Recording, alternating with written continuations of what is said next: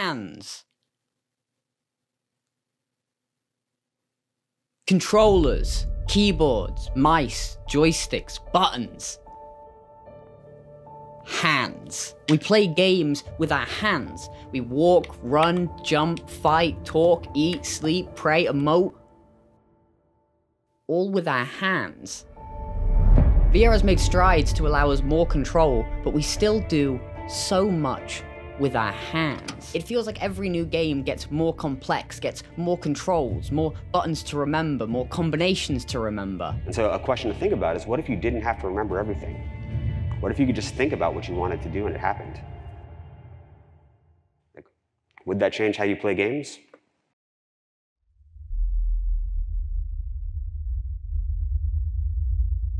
Brain scanning is one of those topics that is so sci-fi, most people don't believe it to be real.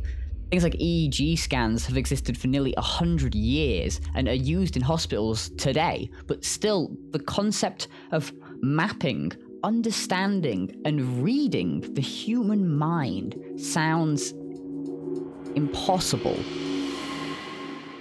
Okay, you really want to go down the rabbit hole? For a few minutes, why not? I mean, this is The last time you were here, we really couldn't discuss it. And then there was a, I guess, a press release or something that sort of Oh, yeah, sure. If someone uh, ultimately does get a Neuralink installed, what will take place? Well, for version one of the device, it would be um, uh, take out a chunk of skull, replace, put put the Neuralink device in there. Um, you'd, you'd put the the electrode, you'd insert the electrode threads very carefully into the, the brain, um, and uh, and then you you know stitch it up, and um, and you wouldn't even know that somebody has it.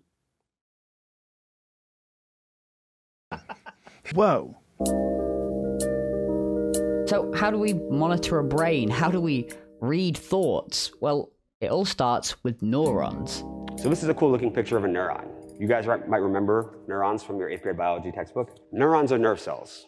They are the atomic units of the brain. Uh, if you put enough of them together and you organize them in various functional and hierarchical ways, you get a brain. Right? And so they, they communicate by firing or not firing. They send le- electrical signals down various pathways of processing, and they're clustered together in various brain regions and seem to you know, provide distinct subsets of functionality, although not, not always. Uh, there are about 100 billion in the brain, and connections between neurons is is called a synapse. Uh, there are about 1,000 trillion, or 1 quadrillion, synaptic connections in a human brain. Uh, and when neurons fire, and this is the important part, they produce every single aspect of conscious and unconscious experience. Every thought you have, every sensation you have, everything you perceive, every feeling you have. They're a consequence of neurons, or bundles of neurons, or patterns of neurons firing together or not firing. So, in some respects, we're actually already inside the matrix. Like what we see and experience and feel, right, is constructed by neurons firing up here, right? And when you have, you know, when you have a thought, neurons fire in a particular way. When you have a different thought, neurons fire in a different way. Um, there is a neurological correlate or origin for every single thing that happens in our brain. And our reality is constructed by these patterns of firings. And so if we could reliably measure them, then maybe we could start doing thing, useful things with them. Have I told y'all the story of the great bit battle of 2089? Yes, Grandpa, you've told us that story many times. Well, great. It was a cold day in December. No ammo left, right on the border between the ones and the zeros. The zeros were pushing forward. Hope was distant, but something deep inside kept us still fighting for freedom.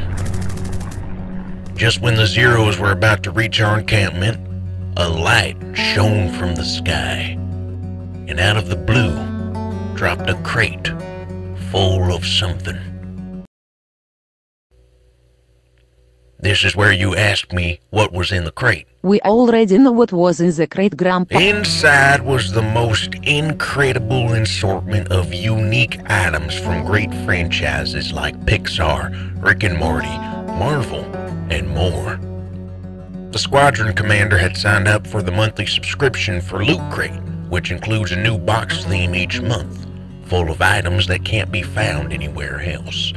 I took that loot, I brought it back to camp, just as the Zeros were closing in. Turns out, the Zeros are fans of Rick and Morty.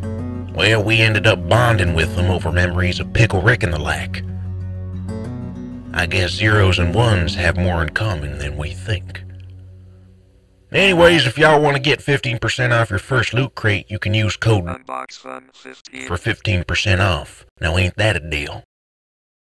Have I told y'all the story of the great bit battle of 2089? No, Grandpa. No, you haven't told us that story. He's right. What happened during the battle? It was a cold day in December.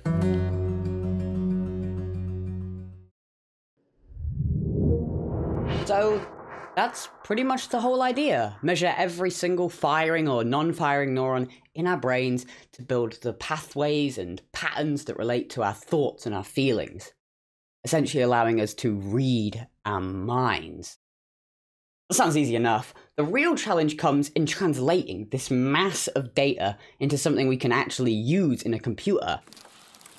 Startup Neurable launched the first ever mind controlled video game back in 2017, which used deep learning algorithms to find patterns in the brain for simple actions like imagining an object coming towards you. The cap has sensors on there that record brain activity. They're called electroencephalography sensors. That records your electrical signals coming from your brain. And our software allows us to take that brain activity and interpret what you actually want to do. And then from there, we actually create the actions that you want. We need to find a way through this grid. Look around for clues. Keeping this brief, a deep learning algorithm is an AI computer that learns from doing.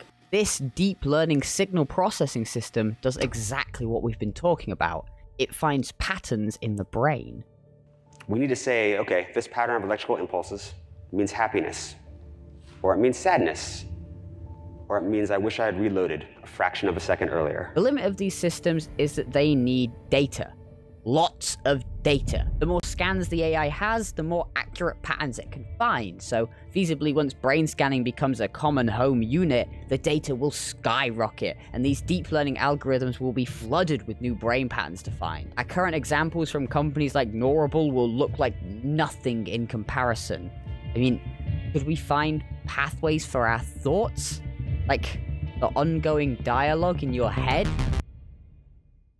Surely not. Uh, hold that thought. Most devices used by companies like Neurable sit on the outside of your head, and these are called non invasive methods. What Elon is talking about, the device implanted in your skull, is known as an invasive method. Those arise many more of the ethical concerns with what are known as brain computer interfaces, or BCIs. The most common non-invasive BCI is the EEG, or electroencephalogram. This device reads electrical activity, aim it at the brain, and it can detect the electrical activity of neurons firing.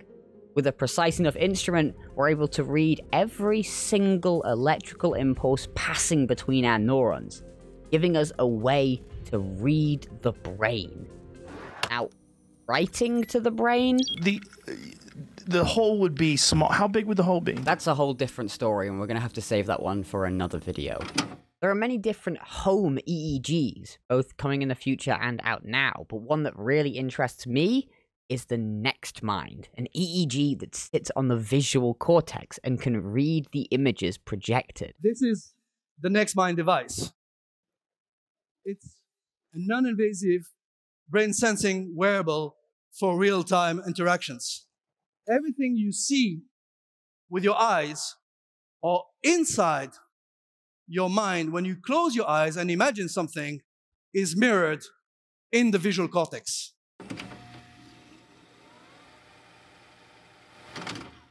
My name is Jack Gallant. I'm a professor of psychology and neuroscience here at UC Berkeley. So uh, on the left here we have a movie that we showed a subject in the magnet.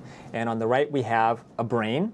And you can see the brain activity is painted here on the side of the brain, but the brain's kind of crunched up in the skull, so it's hard to visualize. So we kind of inflate it and then we flatten it out, and we can see a flat map of the visual cortex and the rest of the brain as the person watches the movie. The problem here for us is to translate between these movies that occur and this pattern of brain activity that occurs. So on the left here is the movie we actually showed people, and on the right is our reconstruction. When the movie that we showed has a fairly common object like a person, our reconstructions are actually fairly accurate.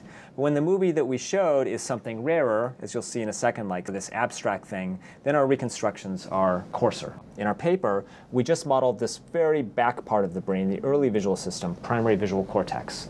And that part of the brain responds to the little local features in the movie, little edges and colors and pieces of motion and texture. But this part of the brain doesn't know anything about what the objects are in the movie.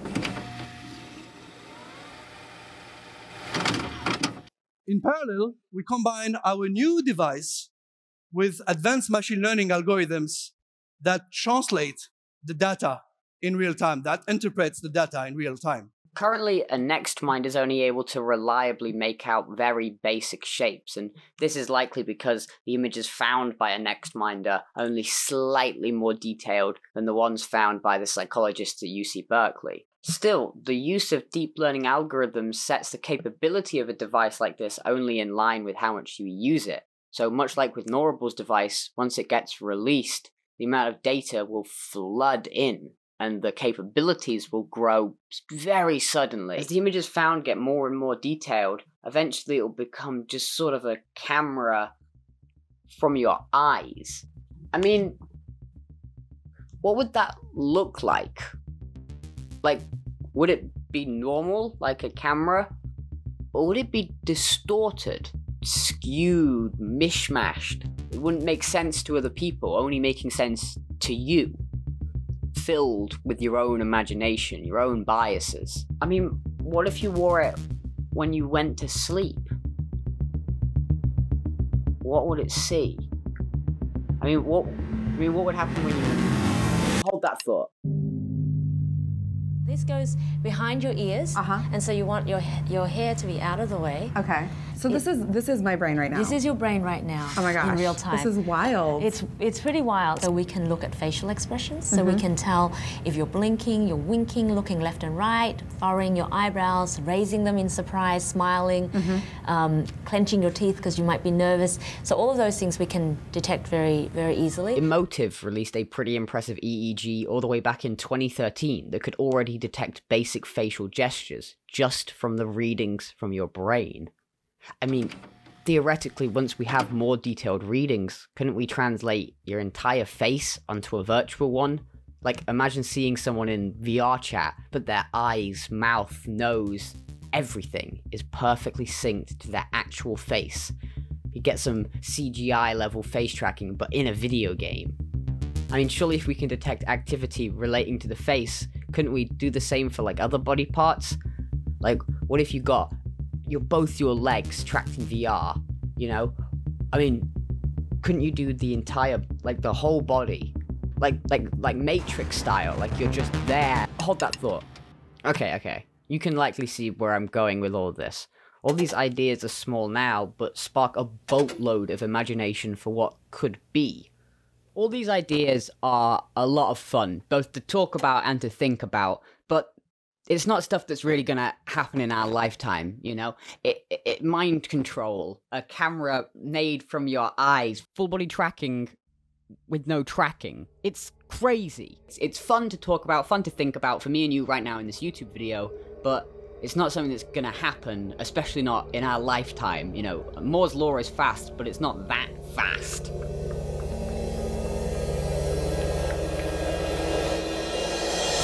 Right?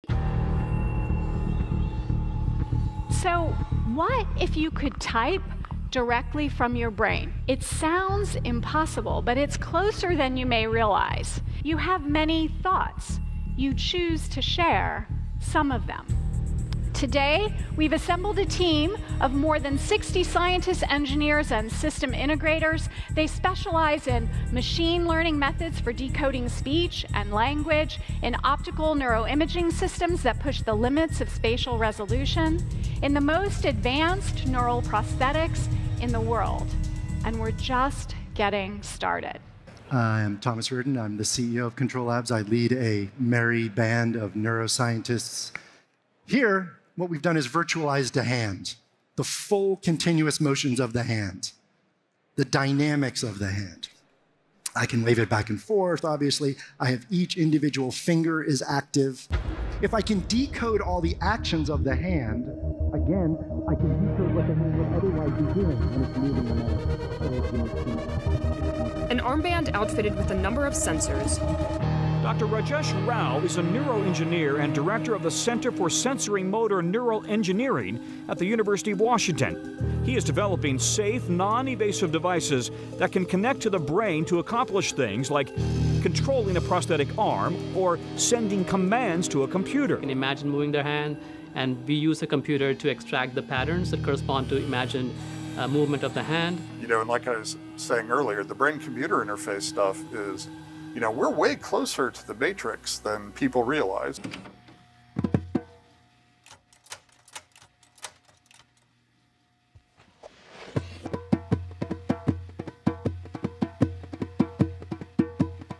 Personally, the area I'm spending a lot of time on has uh, has been growing out of a bunch of research that occurred a while ago in brain computer interfaces. You know, and like I was saying earlier, the brain computer interface stuff is, you know, we're way closer to the matrix than people realize, right? It's not going to be the matrix. The matrix is, you know, a, a movie and it misses all the interesting technical subtleties and just how weird that the post brain computer interface world is going to be.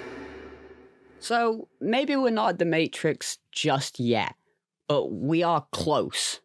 Like, really close, like way closer than we thought. And that's kind of scary, to be honest. Elon tries to quell our fears by saying, well, see it coming if AI ever happens to take over. That it's not going to be like suddenly uh, Neuralink will have this incredible neural lace and start taking over people's brains. Okay. I mean, nobody brought up controlling the brain, Elon. Why, why would you? This is going to sound pretty weird, but um, achieve a sort of symbiosis with artificial intelligence. So, uh, but th- this is, this is not a mandatory thing. Um, Mandatory? I, I think even in a benign AI scenario, we will be left behind. Uh, listen, I'm way out of my depth here. This whole thing is terrifying. Or it's not. It's either the best thing to ever happen to VR, or it's Facebook's one way pass into your brain. It's either our only hope to merge with AI, or it's AI's only hope to push us out. It's either a magic device that lets you see dreams, or it's the government's way to monitor you through your own eyes. It's either the cure to so many existing problems, or it's the creation of so many new problems. It's either Sword Art Online, or it's The Matrix. Well, I, I guess Sword Art Online didn't end that well either, but you know, now that I think about it, no sci-fi with brain-computer interfaces in it ever works out well. Hmm, I just hope that's a coincidence.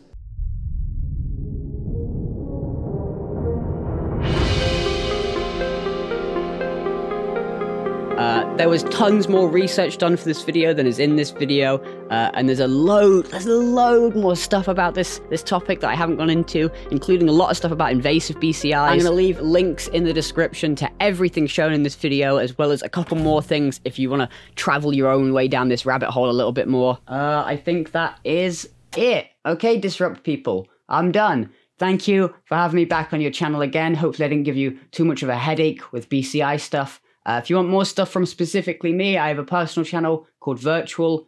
Uh, and other than that, that's everything. Hope you guys have a great day. Bye bye.